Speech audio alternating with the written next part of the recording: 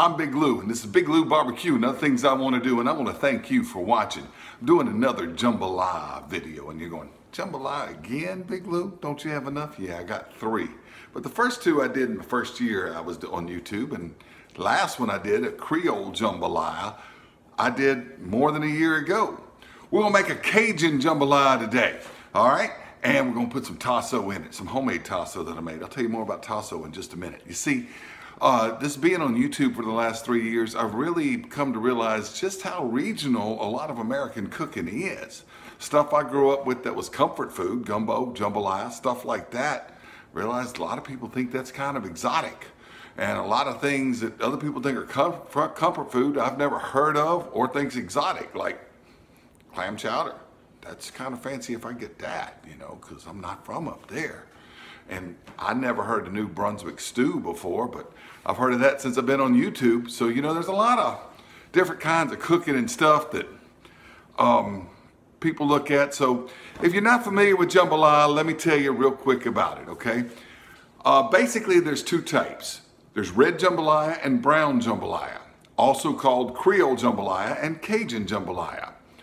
Creole is got tomatoes in it. That's why it's called red jambalaya.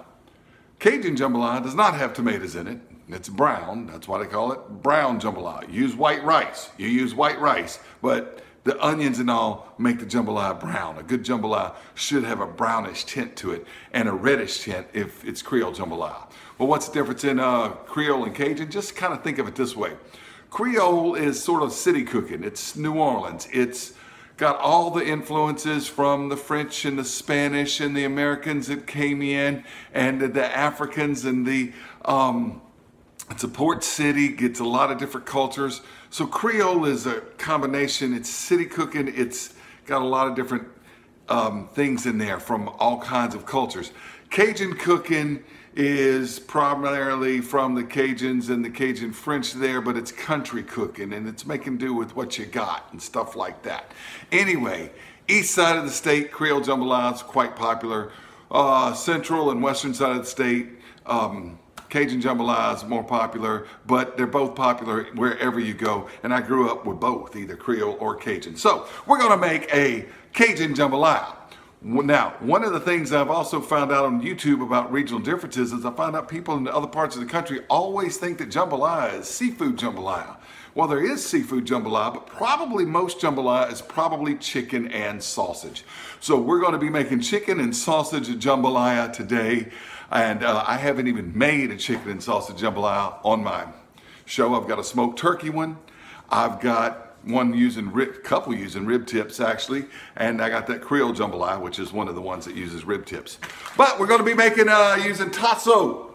Now, if you're not from Louisiana, you may not know what tasso is. All right, tasso is a spicy smoked meat. You basically take pork butt and you make it so smoky, so spicy, so and a little bit sweet, okay, and so savory that it's unpalatable. But when you cut it up and you put it in a jambalaya or a pot of beans or a pot of red beans or a pot of greens or something like that, man, oh, it's tasso good.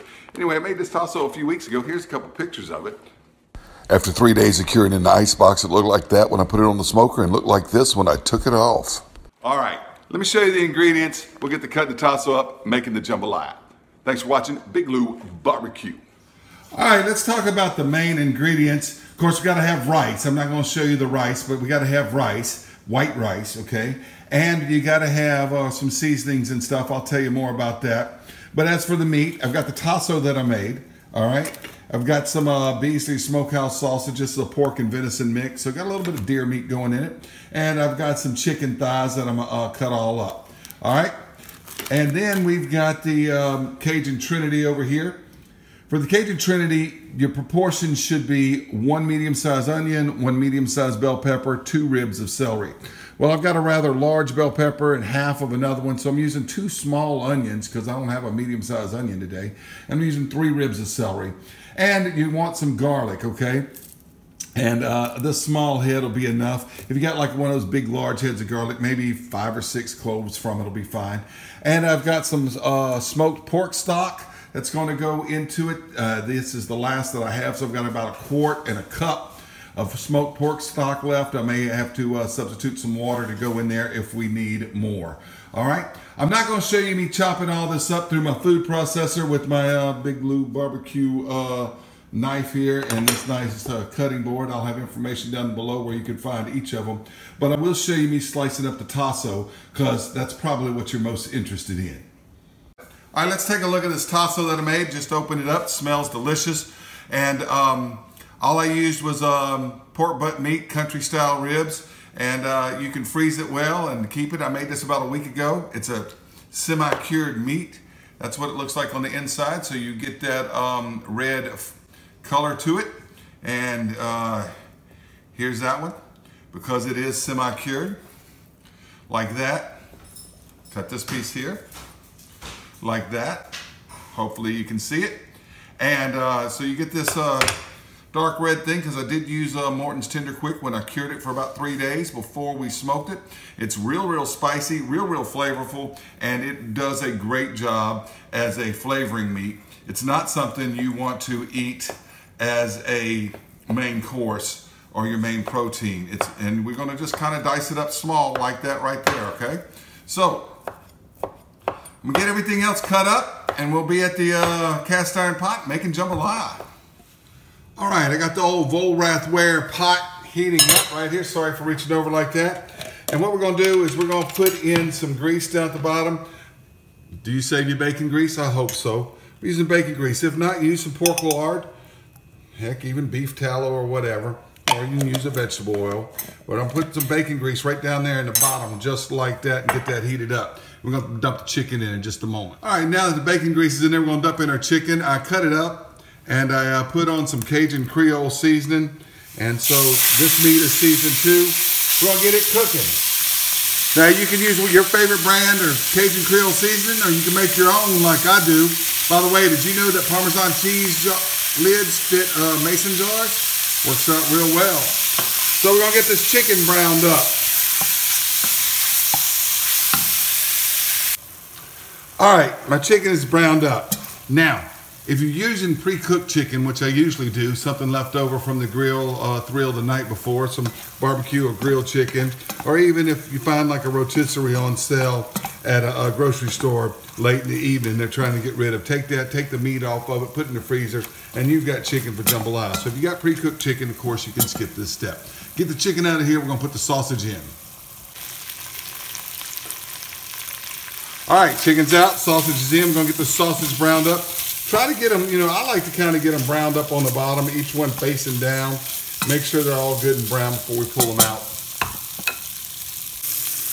All right, sausage is browned up. Look at that right there. See, that's what I'm talking about. Get those pieces brown like that. All right, and then we're gonna get this out of here, put the Trinity in. All right, it's time now to put the Trinity in. So let's get that all browned up. Now we want this going and cooking until these onions are brown. It's very important that the onions be well caramelized before we uh, start the next process. Then I added just a few dashes of smoked kosher salt just to help the onions sweat down and caramelize a bit.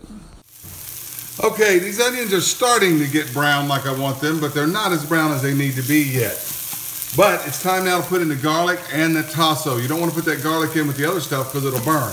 And we're going to start browning this tasso here with the onions and getting this tasso all mixed in here.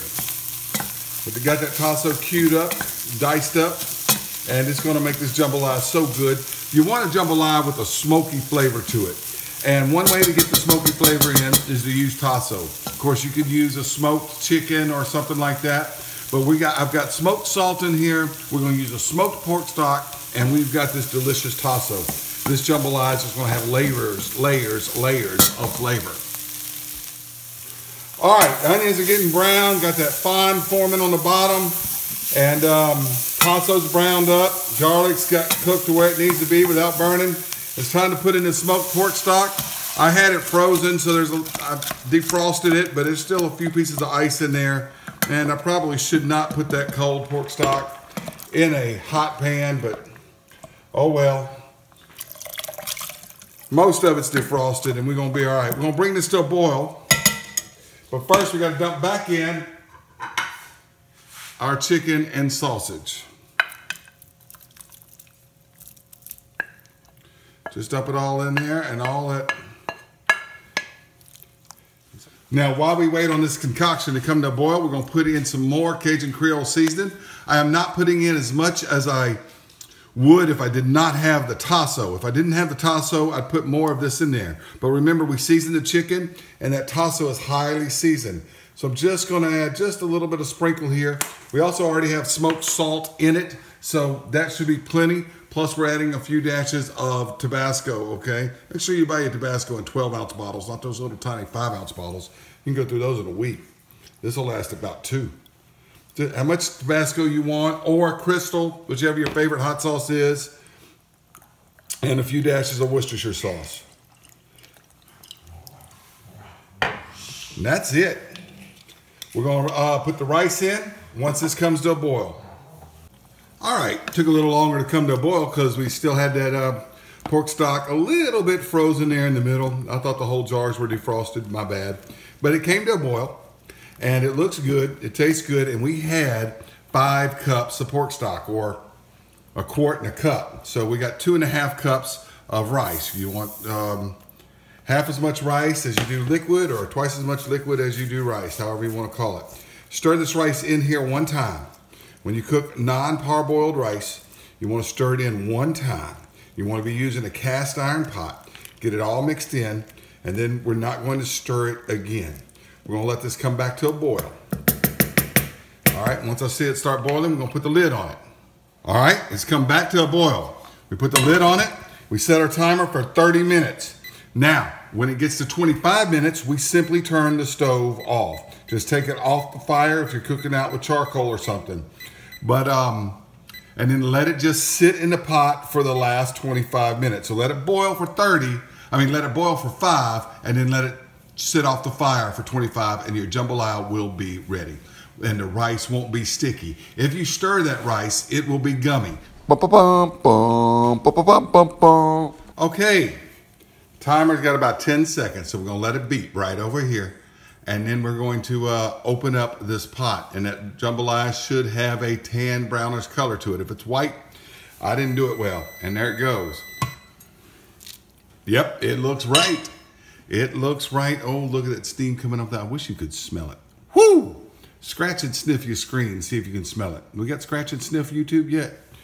Oh that's awesome. All right uh, I want to clarify the way you cook rice Cast iron pot, so it holds the heat in there. Once that water comes back to a boil with the rice in there, don't stir it again. You can do this with jambalaya or you can do it with just plain rice or whatever rice dish you're doing, right?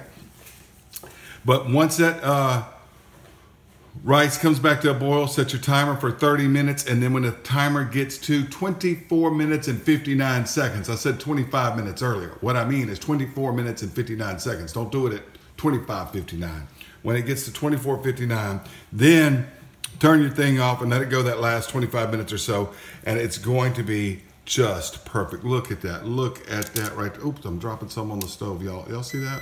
Woo! hot! Let's serve this up.